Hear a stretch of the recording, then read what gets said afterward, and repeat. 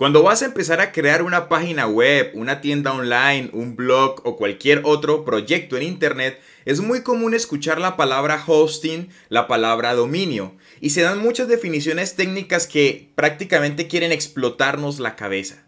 Es por ese motivo que en este video te voy a explicar de la manera más sencilla posible lo que significa el hosting qué es el dominio, qué tan importantes son y sobre todo cómo elegir el mejor hosting y dominio en relación calidad y precio. Así que si deseas conocer las respuestas a estas preguntas, no te despegues de este nuevo video. Entonces, ¿qué es hosting? Empecemos por allí. Dicho de modo fácil y muy corto, es hospedaje en la web, en internet. Así que es lo que es necesario para que tu página se almacene allí. Para entenderlo con un ejemplo, a mí me gusta mucho poner este ejemplo, es básicamente comparar Internet a una gran ciudad. Imagínate que Internet es una gran ciudad. El hosting es lo que te permitirá rentar, por decirlo así, un local o una casa dentro de esa gran ciudad que es Internet. Estará disponible las 24 horas del día, los 7 días de la semana y cualquier persona podrá entrar allí y observar lo que estás ofreciendo, ya sea un producto, un servicio o simplemente tu hobby principal. Dentro de un servicio de hosting hay muchísimas variantes, hoy te hablaré solo de las dos principales. El hosting compartido y el hosting dedicado. ¿Qué es hosting compartido? Volviendo al ejemplo de la casa, Pensemos que un hosting compartido es como una casa en donde viven varias familias y cada una tiene rentada una habitación diferente. Así que la principal ventaja de un hosting compartido es que es mucho más económico que un hosting dedicado. ¿Cuáles son las desventajas? Bueno, la principal desventaja o la más grande es que si la casa no es lo suficientemente amplia, volviendo a este ejemplo de la casa, pues llegará el momento en que si entran muchas personas empezará a volverse lenta la entrada a la casa y algunos terminarán por irse. Lo mismo pasará con tu página web. Si está dentro de un hosting compartido y este no es de muy buena capacidad, entonces la experiencia del usuario que navegue en tu página será, digamos que, regular. Y el hosting dedicado es como si rentaras la casa para ti solito. Así que tu página web o todos tus proyectos web estarán exclusivos para ti, almacenados en la web en ese servicio de hosting. La desventaja más grande es que es muy, muy costoso. Así que Tal vez para proyectos que apenas están empezando, optes por elegir un hosting eh, compartido y no un hosting dedicado. Un hosting dedicado tiene como ventaja es que es mucho más escalable porque básicamente tiene recursos exclusivos para ti dentro de ese almacenamiento. Pero podrás empezar, si no estás seguro de tu proyecto, con un hosting compartido. La pregunta es, ¿cómo elegir entonces un hosting de buena relación calidad y precio? No te despegues porque ahorita te voy a dar la explicación de cómo hacerlo. Entonces, para elegir el hosting en mejor relación calidad y precio, vamos a ir un momentico a la pantalla y les voy a mostrar las tres mejores opciones. Son opciones que recomiendo porque funcionan, porque son económicas y son de alta calidad. Empecemos por el más caro, pero a la vez es el mejor hosting, sobre todo para proyectos en WordPress. WordPress es una plataforma en la que, en la que podrás crear tu página web fácil. Si no sabes de esto, te dejo el enlace en la descripción con un curso en donde podrás en una hora aprender cómo crear una página web desde cero en WordPress. Entonces, si optas por utilizar WordPress, si tú le das aquí en contratar, vas a ver que tienen un precio desde 6,99 dólares por mes.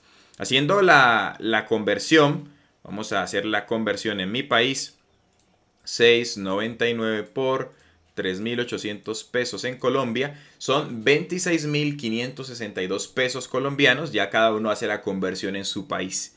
Este sería el, más barato, te incluye un eh, dominio gratuito, aquí lo vemos, el dominio ahorita hablaremos qué es eso.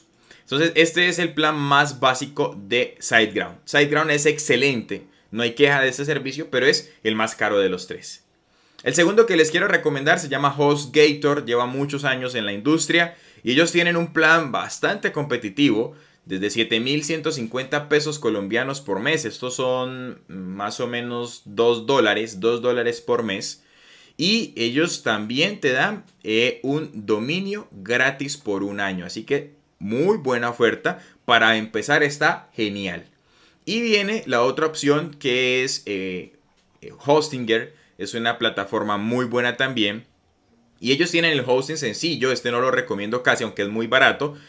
prácticamente un solo dólar por mes, 3.900 pesos colombianos por mes, pero les recomiendo mucho el hosting premium o el empresarial, ya que a diferencia de este que tiene muchas limitaciones, en los otros dos te van a dar, como vas a ver por acá, el dominio gratis, el dominio que, como hablaremos ahorita, es el nombre que identificará tu página web.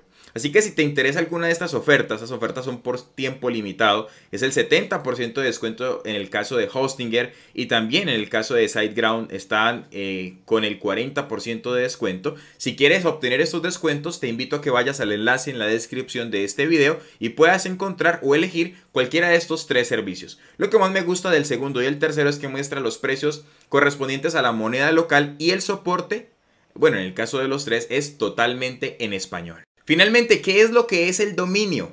¿Has escuchado eso? El dominio, ¿eso qué es? Bueno, volviendo al ejemplo de la ciudad, recuerda que cada casa, cada local en una ciudad tiene una nomenclatura, una dirección. Eso es el dominio.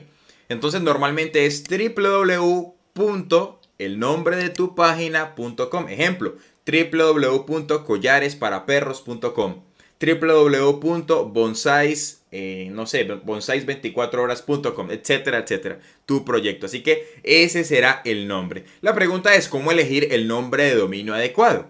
Bueno, te serán muy útiles estas 12 claves que encontré en esta página tuwebdecero.com, dejaré el enlace en la descripción, en donde dicen, primero, que sea visual, o sea, que sea fácil de recordar, escribir y deletrear, así que un dominio tan largo tal vez no te convenga. Segundo, no usar dos vocales o dos letras seguidas. Claro, se hace difícil de leer, sobre todo en español. Tercero, limpio, no usar guiones ni números. Vea, esto es muy importante.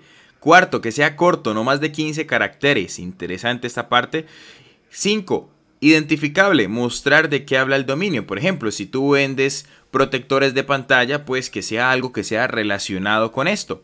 Sexto, la importancia de la keyword en el dominio. Esto, esto en el caso de los que quieren posicionar un blog sobre todo o quieres que, por ejemplo, cuando escriban celulares en Madrid aparezca de primer lugar, pues debería tener alguna de estas palabras clave en el dominio. Que sea extensión .com.es .com.co en el caso de Colombia, .com.mx en el caso de México, .net, .org, ya hay otras extensiones que definitivamente no van, no vale la pena. Octavo, branding para que explotes tu marca personal. Esto en el caso de que ya tengas un negocio, quieras eh, hablar sobre ti, sobre lo que tú haces, pues no hay nada mejor que poner tu nombre. 9. Impedimentos, no usar ñ, mayúsculas o acentos, bien importante para los que hablamos en español.